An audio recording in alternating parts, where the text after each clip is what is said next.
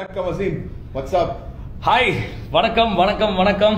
The title winner of Bigg Boss season six how do you feel how do I feel வேற லெவலில் இருக்கு. இன்னும் பார்த்தீங்கன்னா நான் வந்து ஓகே நம்ம பிக் பாஸ் சீசனுக்குள்ளே போனோம். டைட்டில் வின் பண்ணிட்டோம் அப்படின்றத எனக்கு ஜீர்ணிக்கிறதுக்கு எனக்கு ஆல்மோஸ்ட் ஒரு ஒன் வீக் ஆச்சு. பிகாஸ் இந்த ட்ராமான்னு சொல்லுவாங்களே ட்ராமா மீன்ஸ் அது நம்ம உள்ளே இருக்கோம். அந்த டெய்லியும் வந்து அந்த வீட்டில் நம்ம பார்க்குற மக்கள் அந்த வீடு சரௌண்டிங் மட்டும்தான் இருக்குது. அதெல்லாம் தாண்டி இப்போ வெளியே வந்ததுக்கப்புறம் ஓகே சீசன் முடிஞ்சிச்சு டைட்டிலும் வின் பண்ணிட்டோம்.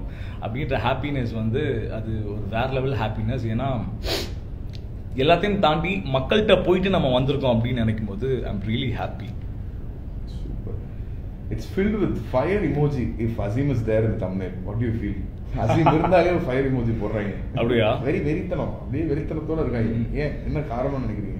மேபி நான் நானா இருக்கனால அது காரணமா இருக்கும்னு நினைக்கிறேன். பிகாஸ் நான் வந்து நடிக்காம கேமராக்காக ப்ரிட்டன் பண்ணாம ஐம் பீங் மை செல்ஃப் அதனால மேபி அப்படி இருக்கலாம்.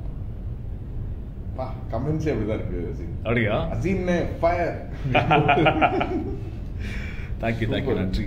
அண்ட் ஃபர்ஸ்ட் ஆஃப் ஆல் நான் வந்து ஒரு விஷயம் சொல்லிக்கணும் direct thanks for calling me life it was like நான் வந்து ஒன் வீக் நான் வெயிட் பண்ணிட்டு இருந்தேன் அந்த லைவ் இது. என்னை வந்து கூப்பிட்டு பண்ண வச்சது. ஐம் ரியலி ஹாப்பி அண்ட் நிறைய பேர் எதிர்பார்த்துட்டு இருந்தாங்க அசீம் எப்போ லைவ் வருவாங்க. அந்த விஷயம் நானும் ஃபோன் கால்ஸில் மெசேஜஸ்லாம் பார்க்க நேர்ந்தது ஃபர்ஸ்ட் ஆஃப் ஆல் என்னை வந்து இன்னைக்கு டைட்டில் வின்னர் அசீம் அப்படின்னு இருக்கேன்னா அந்த வீட்டுக்குள்ளே விளையாடுனதுன்னு நான் தான்.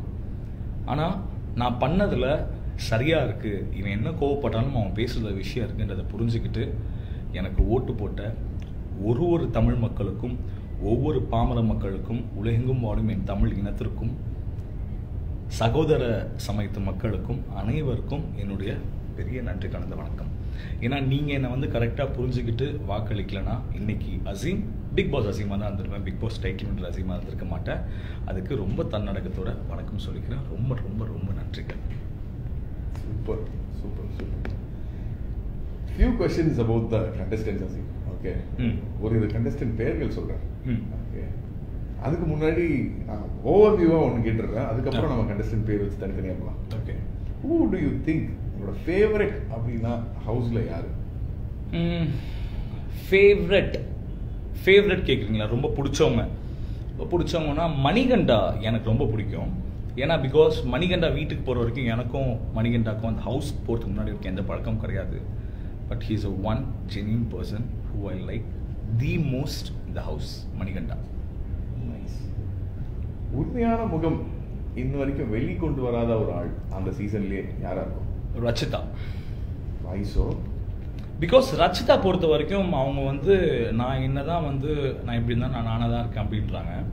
ஆனால் ஒரு சில விஷயத்தில் நான் ரச்சிதா வந்து அவங்க ரொம்ப ப்ரிட்டன்டிவாக அவங்க வந்து கேமராக்காக மட்டுமே பண்ணுற மாதிரி எனக்கு பல இடங்களில் தோணியிருக்கு. அதை நான் கமல் சார் எபிசோட்லையும் சொல்லியிருக்கேன். ரச்சிதா நீங்கள் இன்னும் உங்களுக்குள்ள அந்த ஷெல்குள்ள இருந்து நீங்கள் வெளியே வரல ரச்சிதா அப்படின்னு இருக்கேன் மேபி எங்கே நம்ம வெளியே வந்தால் மக்கள் நம்மளோட உண்மையான முகம் பார்த்து நம்மளை வந்து அவங்க ரசிக்க மாட்டாங்களோ அப்படின்ற அந்த கான்சியஸில் அவங்க பண்ணாமல் இருக்கலாம்.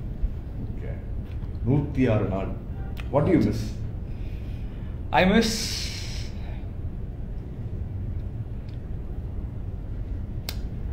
cellphone இல்ல செல்போன் அப்படின்னு சொன்னா அது வந்து உண்மையாகாது. ஐ மிஸ் மை பேரண்ட்ஸ் எங்க பேரண்ட்ஸ் நான் ரொம்ப மிஸ் பண்ணேன் தாய் தப்பனை அப்புறம் என் நண்பன் தெரியும் சதாம். அப்புறம் என் தம்பி அதான் ஃபேமிலி மெம்பர்ஸ்னாலே வந்துருவாங்க தம்பி. அப்புறம் அப்பப்போ நிறைய தேட்டரில் போய் படம் பார்க்குறதையும் நியூஸ் பார்க்குறதையும் நான் ரொம்ப மிஸ் பண்ணேன். ஓகே சரி இப்போ ஷோல இருந்து என்னெல்லாம் மிஸ் பண்றீங்க? ஷோல இருந்து மிஸ் ஆமா. பண்றது. தி பிக் பாஸ் வாய்ஸ் அந்த வாய்ஸ் நான் ரொம்ப மிஸ் பண்ணுறேன் ஏன்னா வந்து ஷோவில் வந்து நாங்கள் டெய்லியும் காலையில் எழுந்திரிக்கும் போது அந்த சாங் போட்டு எழுப்பி விடுவாங்க ஒரு ஒரு விஷயத்துலையும் பிக் பாஸ் சொல்லும் போது அசீம் கான்ஃபெஷன் ரூம் வாங்கன்னு சொல்கிறதா இருக்கட்டும். ஒரு ஒரு வாட்டி நம்ம வந்து லிவிங் ரூம் கூப்பிட்றதா இருக்கட்டும். அந்த வாய்ஸ் ரொம்ப மிஸ் பண்ணுறேன் இன்னொன்று அந்த வீட்டுக்குள்ள என்னதான் சண்டைகள் சச்சரவுகள் இருந்தால் கூட அது ஒரு மாதிரி ஃபன்னாக தாங்க இருந்துச்சு. இப்போ நினச்சி பார்த்தாலே சூப்பராக நம்ம நூற்றி ஆறு நாள் வந்து தெரியாத இருபது பேரோட நம்ம இருந்திருக்கோம். அது என்ன தான் சண்டைகள் சச்சரவாக இருந்தாலும் நம்ம இருந்திருக்கோம் அப்படின்றப்போ அஃப்கோர்ஸ் நான் அந்த வீடையும் கண்டஸ்டன்ஸையும் ரொம்ப மிஸ் பண்ணுறேன் ஆசம் ஆசம் ஓகே நான் ஒரு சில நம்ம ப்ரோமோ லான்ச் ப்ரோமோ பார்த்துருப்பீங்க ஆமாம் அதில் வந்து சில அனிமல்ஸ் இருக்கும். ம் ஆமாம் நான் ஒவ்வொரு அனிமல் பேரா சொல்லுவேன். யார் யார் என்னென்ன அப்படின்றத ஹைஃபன் போட்டு சொன்னாலும். சரி இது இன்டர்வியூ தான். ஏதோ மாற்றி விடுற ஃபீலே கேட்குறீங்களே சரி.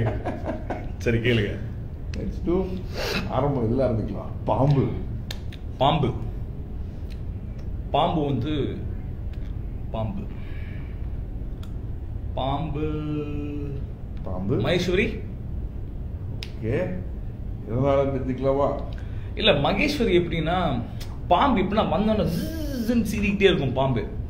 ஆனா பாம்பு பாத்தீங்கன்னா அந்த பாம்பை பொறுத்த வரைக்கும் இவங்க நல்லவங்க இவங்க கெட்டவங்க அப்படின்னா அந்த பாம்புக்கு தெரியாது. அந்த பாம்போட வேலை சீர்றது போய் கொட்டுறது. அந்த வகையில் மகேஸ்வரி பார்த்தீங்கன்னா அவங்க வந்து எது நல்லது எது கெட்டதுலாம் தெரியாது. அவங்கள பொறுத்த வரைக்கும் சீரணும் அப்படின்றதுல தான் அவங்க ரொம்ப முன்முனைப்பாக இருப்பாங்க. அதனால மகேஸ்வரி. ஈகிள். கழுகு பார்வை. அவையும் கூட இல்லை. ஆமா. கழுகு வந்து பாவத்துக்கு போயிடும். பாம்பை தூக்கிட்டு போயிடும். அந்த கழுகு வந்து பாம்பை தூக்கிட்டு போயிடும். அந்த வகையில் பார்த்தீங்கன்னா சிவின் ஏன்? ஐசோ அவங்க வந்து எப்படின்னா ம, actually she is a very good girl ரொம்ப நல்ல பொண்ணு அவங்க. அவங்கள பொறுத்த வரைக்கும் என்னன்னா she speak with sense Shivin வந்து she speaks with sense suppose அவங்கள்ட்ட ஏதாவது வந்து சப்போஸ் சென்சிபிளாக இல்லாமல் அவங்க ஏதாவது பேசுனாங்கன்னா அவங்க கவுண்டர்ஸ் வந்து அது கரெக்டாக அந்த பாம்பை தூக்கி சாப்பிட்ற மாதிரி இருக்கும். அவங்க வயசு சின்ன வயசு தான் twenty six twenty seven if I'm not wrong ஷிவனுக்கு but she's a very good girl அதனால கழுகுனா பாம் ஷிவன் முதலை. முதலை. அப்படியே முழுகிரும் இல்ல? முதலை. மைனா. ஓகே. மைனா தான் முதல்ல அவ அப்படியே வந்து ஏதாவது ஒன்று பேசினா அப்படியே முழுங்கிடுவா. ஆனா பாவம் அகைன் இஸ் ஒன் வெகிலி ஒன்லி ஆனா உள்ளுக்குள்ள உன ஏதாவது பேசினா போதும் அப்படியே முழுங்கிடுவா. ஸோ மைனா. சிங்கம். சிங்கம். உங்க முன்னாடி? ஓடு. அந்த ப்ரொமோல சொன்ன மாதிரி காட்டுக்கு ஒரு சிங்கம் தான் இருக்க முடியும். ஸோ உங்க முன்னாடி. இது வந்து தற்பெருமையில சொல்ல என் மேல கான்ஃபிடன்ஸ்ல சொல்றேன் தன்னம்பிக்கையில சொல்றேன். Super anything else you want to thank the viewers அது மக்கள் என்ன சொல்ல அதை தான் நான் சொல்ல விரும்புகிறேன் என்னன்னா நீங்கள் நம்ப மாட்டீங்க அந்த வீட்டுக்குள்ள நாங்கள் வந்து அவ்வளோ சண்டைகள் வந்துச்சு சச்சரவு வந்துச்சு. I want to tell one thing இப்போ நீங்கள் அந்த வீட்டில் எங்களை நூற்றி ஆறு நாள் பார்த்துருக்கீங்க இல்லையா? அந்த வீட்டில் நாங்கள் போடுற சண்டைகள் சச்சரவுகள் மனஸ்தாபங்கள் முரண்பாடுகள் இது எல்லாமே அந்த வீட்டுக்குள்ள கேம் சம்மந்தப்பட்டதாகவும் அந்த கேம் ரிலேட்டட் டாஸ்க் ரிலேட்டடாக தான் எங்களுக்குள்ள சண்டை வந்திருக்க ஒழிய அந்த வீட்டில் நாங்கள் பிடிச்ச சண்டைகள் சச்சரவுகள் இது எதுவுமே வெளி உலகத்தை சார்ந்ததோ வெளி உலகத்தின் அடிப்படையிலோ கிடையாது. அது முழுக்க முழுக்க அந்த வீட்டுக்குள்ளே இருக்க டாஸ்க் அந்த வீட்டுக்குள்ள நம்ம பேசுகிற வார்த்தைகளோட பிரதிபலிப்பு தான் சண்டையாக வந்துச்சு. ஸோ அப்படி இருக்கும் போது அந்த சண்டைகளை வந்து வச்சு எங்கள் யாரையுமே நீங்கள் டிட்டர்மைன் பண்ணால் அது சரியாக இருக்காதுன்னு நான் சொல்லுவேன். ஏன்னா நம்ம வெளியே என்ன வேணாலும் இருந்திருக்கலாம். ஆனால் அந்த வீடு நம்மளை ஒன்று பண்ணும்.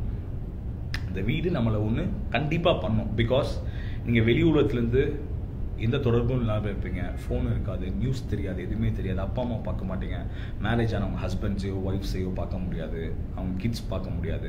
அப்படி இருக்கும்போது அந்த வீடு நம்மளை ஒன்று பண்ணுங்க. பண்ணும்போது அந்த ஹீட் ஆஃப் த மூமெண்ட்ல நீங்கள் என்ன சண்டை பிடிச்சாலும் at the end of the day இந்த சைடு ஒன்றா லிவிங் ரூம் இந்த சைடு ஒன்றா அந்த கார்டன் லாஸ்ட் ஏரியா லெஃப்டில் போனால் கிச்சன் ரைட்டில் போனால் பெட்ரூம் ஏரியா இந்த நாலு சவுத்துக்குள்ளே தான் நீங்கள் யார்கிட்ட சண்டை பிடிச்சாலும் முரண் வந்தாலும் சந்தோஷனாலும் இந்த நாலு செவுத்துக்குள்ள தான் நீங்கள் அவங்கள பார்த்தாகணும் பேசி ஆகணும் சில பேர் நினைப்பாங்க என்னடா இவன் சண்டை போடுறான் சண்டை பிடிச்சி திருப்பி போய் பேசிடுறானே? பேசாம என்ன செய்ய முடியும்? பேசி தாங்க ஆகணும். பிகாஸ் இது நம்ம வெளி உலகம்னு வைங்களேன் எனக்கு இவனை பிடிக்கலையா? சாரிடா நான் அவன்கிட்ட பேச விரும்பல அப்படின்னு சொல்லி அந்த இடத்துல இருந்து நம்ம கிளம்பி போயிடலாம். ஆனால் அந்த பிக் பாஸ் வீடியோ நீங்கள் எங்கே கிளம்பி போவீங்க? போக முடியாது. ஒருவேளை அவங்களோட நம்ம பேசாமல் இருந்தால் கூட பிக் பாஸ் கொடுக்குற டாஸ்கில் நம்ம கம்பல்சரியாக நிர்பந்தத்தின் அடிப்படையிலையாவது நம்ம அவங்களோட பேசி தான் ஆகணும். ஸோ இது வந்து ஒரு கட்டாயமாக இருக்கும். இன்னொன்றுங்க எதுக்கு நம்ம சண்டையை வந்து மனசுக்குள்ள வெஞ்சன்ஸாக வச்சுக்கணும் சொல்லுங்கள் அது தேவையே இல்லையே. ஸோ அந்த வீட்டுக்குள்ளே நம்ம இருக்கும் போது பட்ட கோவங்கள் எல்லாமே அந்த வீட்டுக்குள்ளே இருக்கனால நம்ம பட்டதே ஒழிய வேறு எதுனாலையுமே கிடையாது. சொல்லப்போனால் விக்ரமன் பற்றி என்கிட்ட வெளியே போகும்போது கேட்குறாங்க எப்படிங்க நான் அவரை பற்றி என்ன நினைக்கிறீங்க? அப்படின்னு. சொல்லப்போனால் Vikram is my very good ஃப்ரெண்டுங்க அந்த வீட்டுக்குள்ளே எனக்கும் விக்ரமனுக்கும் அது வந்து அந்த கோவத்தினால தான் அந்த சண்டையை தவிர கொள்கை ரீதியில் கோட்பாடு ரீதியில் அவருக்கு எனக்கு ஒன்றுமே கிடையாது. Is a very good friend of mine உள்ளுக்குள்ளே தான் அவ்வளோ சண்டை போட்டிருக்கோம். நானும் விக்ரம் ஒன்றா பெட்மேட்டு நிறைய விஷயங்கள் நான் பேசியிருக்கேன். அவரும் பேசியிருக்காரு. எனக்கு அவர்கிட்ட பிடிச்ச விஷயம் நான் சொல்லியிருக்கேன் உள்ள. அவர் என்ன கோவப்பட்டாலும் தன்னிலை மாறாமல் கரெக்டாக இருப்பார். ஸோ அப்படி இருக்கும்போது எனக்கும் விக்ரமுக்கும் எந்த பிரச்சனையுமே கிடையாது. வீட்டுக்குள்ளேயும் கிடையாது. இப்பவும் கிடையாது. நாங்கள் எங்கேயா பார்த்தா கூட ஹாய் விக்ரம் நல்லா இருக்கீங்களா? அப்படி தான் பேசுவோம். ஆனால் இதை வந்து வெளியே ப்ரொஜெக்ட் பண்ணும்போது ஏன் தப்பாக ப்ரொஜெக்ட் பண்ணான்னு நினைக்கும் கொஞ்சம் வருத்தமாக இருக்குது எனிவேஸ் நான் இப்போ வந்து நான் சொல்ல போகிற விஷயம் என்னன்னா எனக்கு அந்த வீட்டில் நூற்றி ஆறு நாள் நான் இருந்தாலும் நான் பண்ண விஷயங்களில் நியாயம் இருக்குன்னு தெரிஞ்சு எனக்கு ஓட்டு போட்ட ஒரு ஒரு மக்களும் ஒரு ஒரு தமிழ் மக்களுக்கும் ஒரு ஒரு வீட்டில் இருக்கும் அம்மா தாய்மார்களுக்கும் சின்ன சின்ன பசங்க நான் நான் வந்து இன்டர்வியூஸ் அந்த ஓப்பன் டாக்ஸ் இன்டர்வியூஸ்லாம் நிறைய பார்க்குறேன். ஓப்பனாக வந்து நிறைய பேர் கேட்பாங்க. கேட்கும் போது ஒரு ஒரு பாமர மக்களும் யாரை பிடிக்கணும் அசீம்ன்றாங்க ஒரு முதியவர் சொல்கிறாங்க ஒரு அக்கா சொல்கிறாங்க ஒரு தங்கை சொல்கிறாங்க சின்ன குழந்தை சொல்லுது. அப்படி இருக்கும்போது ஓகே நம்மளை வந்து பார்த்து ரசிச்சனால தான் இவ்வளோ பேர் நமக்கு வந்து ஓட்டு போட்டிருக்காங்க அப்படின்னு நினைக்கும் போது ரொம்ப சந்தோஷமாக இருக்குது நான் இன் இன்னைக்கு பிக் பாஸில் சீசன் சிக்ஸ் டைட்டில் வினராக வந்திருக்கேன்னா எனக்கு ஓட்டு போட்ட ஒரு ஒரு மக்களுக்கும் என்னுடைய கோடான கோடி நன்றிகள். Thank you so much without you I'm nothing நான் திருப்பி சொல்கிற மாதிரி தான். அந்த கப் எந்த இல்லை நம்மளுது Super. Thanks a lot, Azim. Thanks a lot for your time. All the thank you best. Thank you thank you thank you so much Derek and மக்கள் எல்லாருக்கும் ரொம்ப நன்றி. தேங்க்ஸ் ஃபார் த சப்போர்ட் கண்டிப்பாக இந்த சப்போர்ட்டை பிக் பாஸில் நீங்கள் எனக்கு கொடுத்த சப்போர்ட் எல்லாத்தையும் இதை தொடர்ந்து இதுக்கப்புறம் நான் பண்ண போகிற ஒரு ஒரு விஷயத்துலையும் நீங்கள் கொடுப்பீங்க அப்படின்றதுல எனக்கு முழு நம்பிக்கை இருக்குது நான் கீழே தூண்ட போதெல்லாம் துன்பத்தில் இருக்கும் போதெல்லாம் இருந்தது என் மக்கள் மட்டும்தான். ஸோ மக்கள் என்றைக்குமே கொண்டு நிற்பீங்கன்னு நினைக்கிறேன். நன்றி.